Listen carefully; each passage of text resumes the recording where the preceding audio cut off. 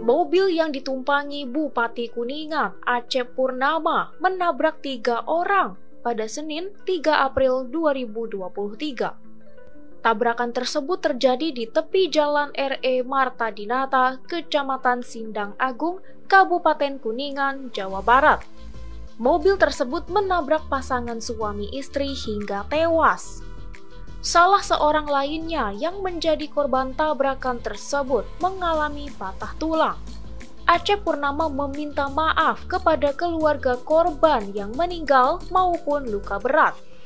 Acep mengaku insiden tersebut murni sebuah kecelakaan tanpa adanya unsur kesengajaan sedikit pun.